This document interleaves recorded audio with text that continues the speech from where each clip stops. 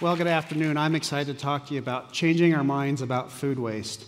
Before I get into food waste, though, I'd like us to step back and think about changing our minds. When's the last time you changed your mind about something? And I don't mean about what you want for dinner or perhaps your weekend plans, something significant. Maybe religion, maybe how you feel about someone important in your life, or a long held, long held belief that suddenly had to change. Now, sometimes when we change our mind, it's a process and it takes us time. And sometimes there's just one instant, and you, you know, you, you thought one thing, and then the next is something different. I'd like to tell you a little bit about how I changed my mind about litter. Um, so, I, I, as I mentioned, I grew up on a farm in Washington State, and our farm, farm bordered the high, uh, highway, and it was about a mile and a half stretch. And in the summer, you know, we drive that highway three or four times, um, back and forth, checking on the fields, changing water, the like. The highway was littered with beer bottles, beer cans, um, those styrofoam packages you used to get your hamburgers in, and you know, paper and plastic, things like that. And, you know, up close and personal, it was kind of gross. Um, but as I think about my own litter habits, you know, I was raised um, in the 80s where this, when this was happening, and you weren't supposed to litter, but it was more a matter of convenience. So I have to say that, you know, when you're going down the road, and if it was a little bit messy, it was okay to toss your window, roll down your window and toss it out. If you didn't have a, can, a garbage bag for your pop can, uh, sometimes it did go out the window, unfortunately. Um, terrible, I know. I'm ashamed about it now. So I had a summer job with the high school math, retired high school math teacher. And what we were doing is checking these agricultural fields. And we, we'd drive from field to field in a pickup truck and take soil samples.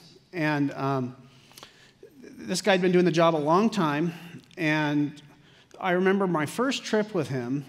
We, he, had, he had his favorite spot for lunch, and it was a beautiful field on your right. You just chested it.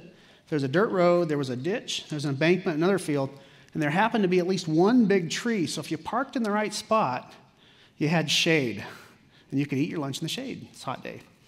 Anyway, we, uh, we sit down, we get our lunches out, bag lunches, and he likes sardines. You know, he's eating away.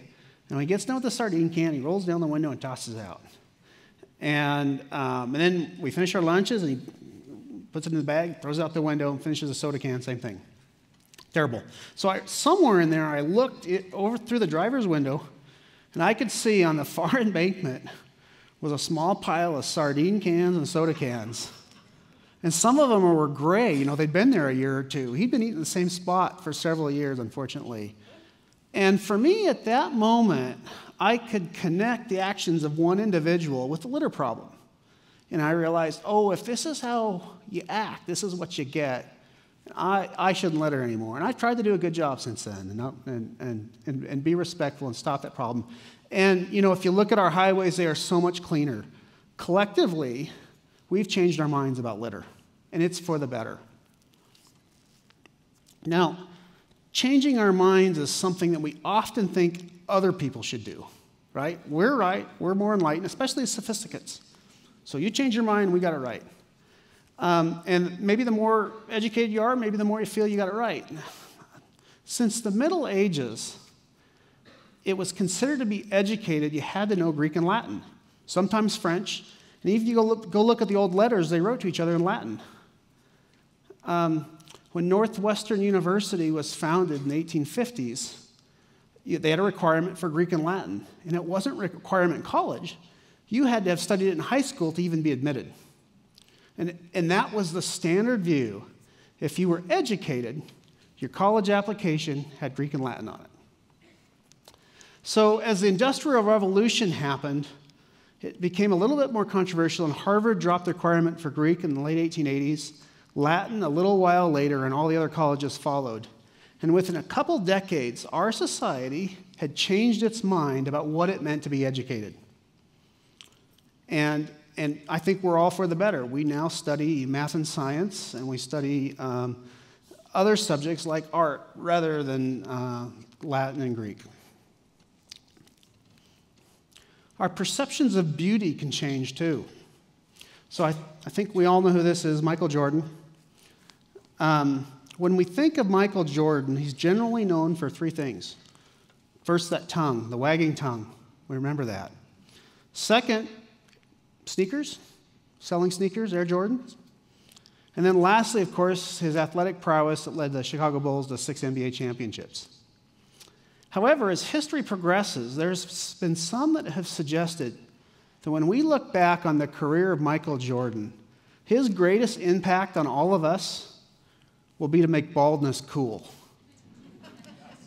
Yeah. and it wasn't just him, it was Patrick Stewart. But up until this time, up until this time, um, you know, we had wigs in England and toupees in the 80s, and if you were going bald, it was embarrassing, and you did everything you can about it.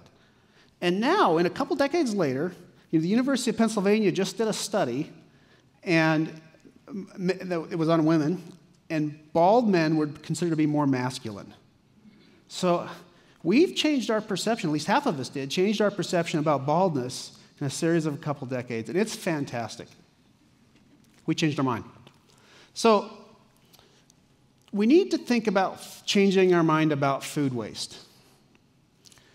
You know, there, there are um, close to a billion people that are malnourished in, this, in the world. Um, and food waste is a problem. I, you know, I remember when I was a kid, um, was in one of those African famines, and my mom served a meal, and I was either full or didn't like it. I don't remember. Passes the plate to me. I take a couple bites, push the plate back. Say, I'm done.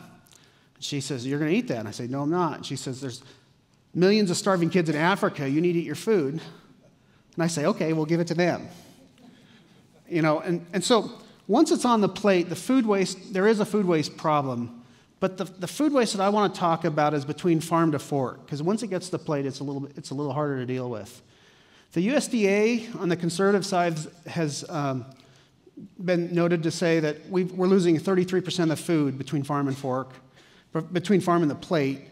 And some other estimates are it's closer to half. So the, the truth is probably somewhere in between. It depends on the item. Um, and there are various solutions, but the ones that I want to focus today have to do with the produce aisle. So we take it for granted, but one of the beautiful things about growing up in North America or Europe is to be able to walk into a grocery store, look at the produce. There's dozens of kinds of produce. It's inexpensive, it's safe, it's ripe, smells good. There's just a variety. And it's there almost every day of the year. And we don't even think about it, we just expect it. It hasn't been like this for that long. And most of the rest of the world doesn't get to eat like us. But the food waste problem is particularly severe in produce where we can grow produce is relatively restricted. And so fixing food waste on produce would make it more available for everyone else. Okay, so how does this problem start and what can we do about it? We'll use strawberries as an example. We buy them in clamshells. They're uh, generally a pound or two, and you can buy them in a flat if, you're, if they're cheap. And we take them home and we eat them. But strawberries start in California or Florida or Baja California in Mexico. These are the places that strawberries are primarily grown that we eat. And it starts on farms there. Now, strawberries are particular because they have a shelf life of seven to eight days. So, from the time that they're picked to the time that they're going bad in your fridge is eight days.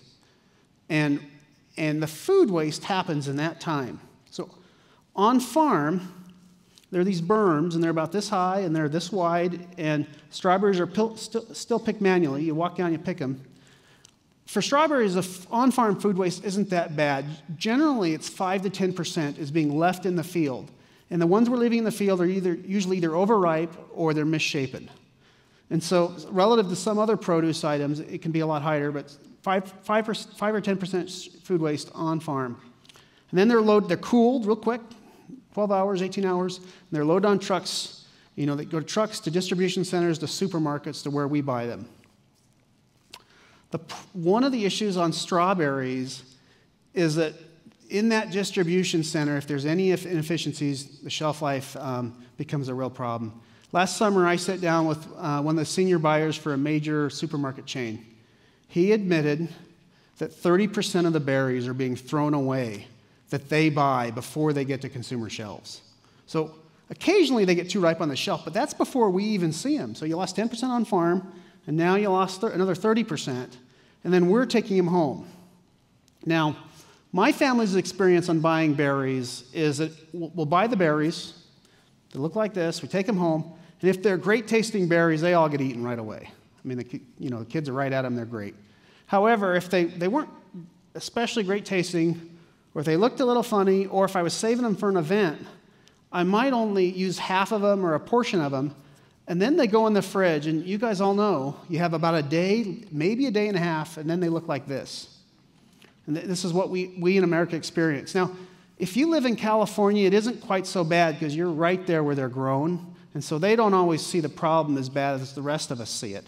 But, but generally, we're losing another third at the consumer level.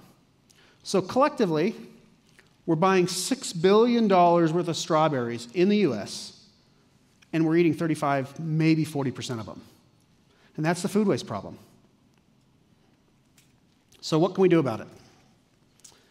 Um, there's a couple of solutions, but that's going to require us to change our mind. Now, you've all been to the supermarket and you've, maybe you've seen crooked carrots, maybe, or tomatoes that aren't quite perfect round, apples that are a little lopsided, pears that have those striations down them where they um, cracked or were otherwise somehow abraded on the field. That's misshapen food, and a lot of times we're not ever seeing it as consumers because we've trained ourselves to only buy what's perfect. And, as, and so that ugly food, as you would call it, or misshapen food, is often being disposed of before we ever seen it. But if, if supplies are tight or if it's super cheap, sometimes we'll see it in the stores. And, you know, nature doesn't produce a perfect berry or a perfect, perfect tomato every time. But those imperfect, misshapen fruits are still nutritious, they're still ripe, they're still tasty. And there's a, a movement that started in Europe, it's just getting going in the States and it's called the ugly food movement. Okay, so other than maybe not being the most visually appealing, this is great produce. And there's no reason why we shouldn't be buying and consuming it. And this would help solve part of the food waste problem. But it doesn't solve the shelf life issue. So, on the shelf life, we've got a couple of solutions that are in the works. Now, um, one, one group of entrepreneurs is building greenhouses either on rooftops or near urban areas, and they're saying, hey, if we could grow our produce close to cities, we could have longer shelf life, we wouldn't have this transportation be easier. Some of them even delivering it to your house. Um, tomatoes grow really well in those environments, as well as some types of lettuce. We certainly can't grow fruit that way, and, it, and it's not clear that we can grow all vegetables. And so far, they're more expensive, not less expensive than, than, than a farm produced produce.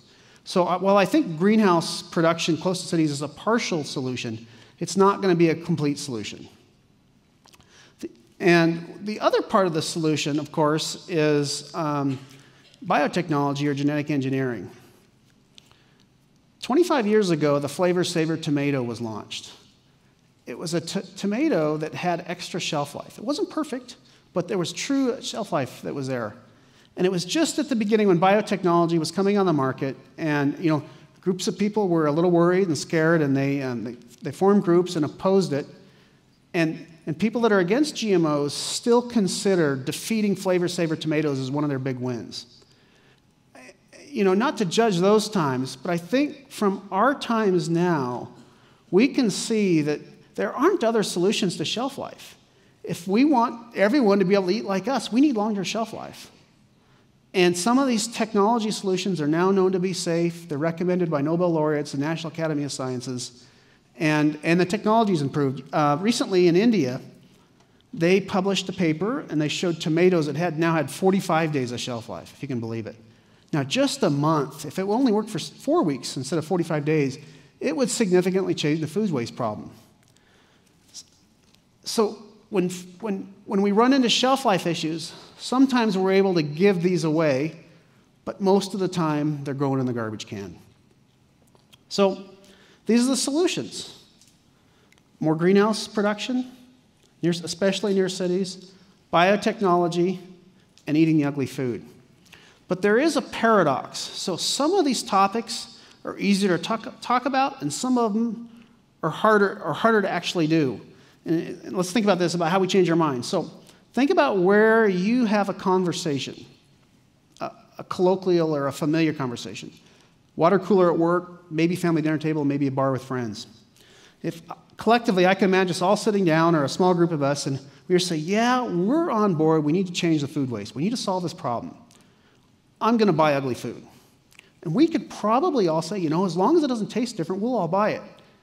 However, when we go to the supermarket, our minds and our eyes are not connected. We naturally buy what's pretty. Okay? So we've got to change our minds. We've got to dissociate it and be more open and, and, and, and buy what we know is safe, mentally, cognitively, mentally, but maybe doesn't look the prettiest. And, and that, that, that takes us to the ugly food.